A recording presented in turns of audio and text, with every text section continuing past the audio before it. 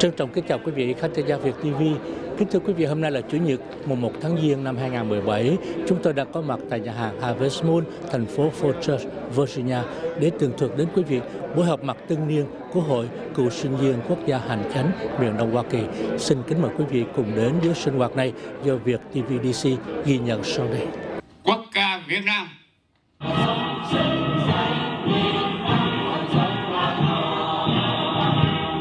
Sau nghi thức khai mạc, ông Nguyễn Kim Hương Quả chào mừng quan khách. chúng tôi rất là vinh quang chào mừng các các giáo sư cùng quý vị đã đến đây tham dự buổi tân niên 2017 Ông Nguyễn Kim Hương Quả trình bày về những công tác đã thực hiện và sẽ xúc tiến. Hội đã hoạt động nay là 25 năm và trong thời gian 25 năm hội có rất nhiều công tác từ những cái di trú, những cái ờ, làm lợi ích cho đồng bào. Nhưng mà trong năm 2016, 2017 thì trọng tâm của hội về 2016 thì đã qua rồi. Thì đến 2017 chúng ta có dự trù là vấn đề khai thuế miễn phí cho đồng hương. Thì vẫn tiếp tục đến năm nay là năm 31 năm.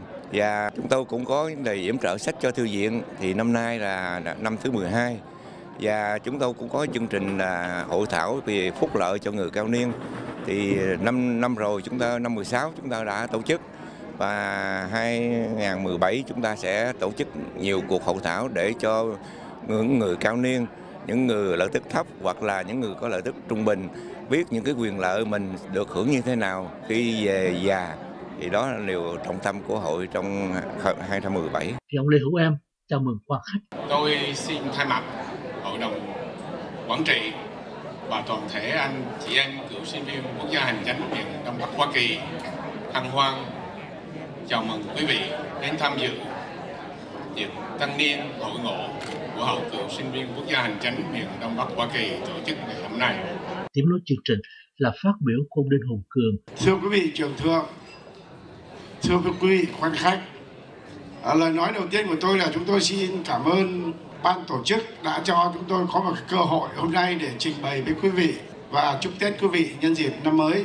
ông Nguyễn Trường Phát, Phó Hội trưởng Nội vụ, nói về sự đóng góp của các cựu sinh viên quốc gia hành chánh dưới chính thể Cộng hòa. sự đóng góp của cựu sinh viên quốc gia hành chánh à, trước năm 1975 là có thể nói là rất là to lớn bởi vì Ờ, các các cựu sinh viên quốc gia hành tránh tốt nghiệp các khóa tham sự, đốc sự và cao học đã góp phần rất nhiều vào ờ, nền hành tránh của Việt Nam Cộng Hòa ờ, trước các năm 1975 trường quốc gia hành tránh gọi tên là Học viện Quốc gia Hành tránh. Học viện Quốc gia Hành tránh được thành lập từ năm từ 50 và cho đến đến 75 thì vì một cái lý do mà rất là đau xót là chúng ta đã bị ờ, mất miền Nam Việt Nam vì cái sự, sự thôn tính của Cộng sản Bắc Việt. Kế đó là tri ân và tặng quà đến quý vị cựu giáo sư, trao bằng khen đến những thành viên có công tạo dựng phòng đọc sách tiếng Việt. Trong buổi tiệc tân niên có chương trình văn nghệ mừng xuân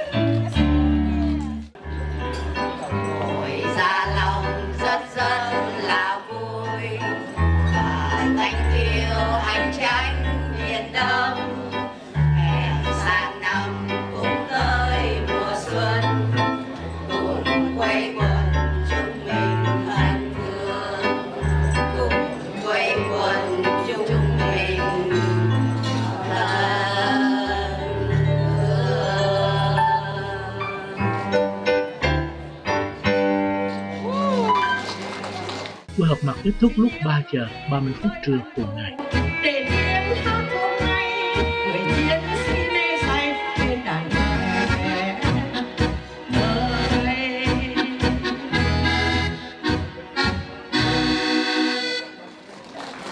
cảm ơn tất cả các Quý vị giờ đến với buổi họp mặt đầu xuân 2017 do Hội cựu sinh viên Quốc gia hành chánh miền Đông Hoa Kỳ tổ chức. Nhân dịp đầu năm mới, xin cầu chúc quý vị và gia quyến an khang, thịnh vượng, hạnh phúc và thành công. Hẹn gặp lại quý vị trong các chương trình tiếp theo. Đại hội thảo Full Church, Virginia, Hoa Kỳ. Dù ai buôn bán nơi đâu, nhớ đến ngày Tết rủ nhau mà về. Đó là truyền thống của người Việt chúng ta từ ngàn xưa đến nay. Mỗi độ xuân về là dịp mà mọi người muốn sum họp với cha mẹ, gia đình để cùng vui Tết. Ngày nay khoảng cách địa lý đó gần như không còn nữa. Người Việt chúng ta đã có thể thưởng thức Tết ở khắp mọi nơi và cùng chia sẻ niềm vui ở khắp 50 tiểu bang Hoa Kỳ, Canada, Âu Châu, Úc Châu hay ngay cả ở Việt Nam. Uno IPTV chính là cầu nối giúp quý vị có được những không khí ấm áp đó. Với việc liên tục có những phóng sự về ngày Tết ở khắp mọi nơi, từ thủ đô của người Việt hải ngoại tại quận Cam, Nam California, đến thủ đô Hoa Kỳ Washington DC, từ đại diện bờ Đông đến bờ Tây và từ Nam chí Bắc của Hoa Kỳ, Canada. Hơn thế nữa, Uno IPTV còn mang đến nhiều bản tin liên quan đến người Việt hải ngoại ở nhiều thành phố và tiểu bang khác. Chúng ta hãy chung tay góp sức giúp cho con cháu giữ mãi tiếng Việt và làm cho văn hóa Việt ngày càng phong phú khắp năm châu bằng cách đón xem các chương trình Việt ngữ trên Uno IPTV hoàn toàn miễn phí. Mọi chi tiết xin vui lòng liên lạc 1 844 885 5000 hoặc xem trên website unoipbox.com. Uno IPTV, sự lựa chọn đúng hơn.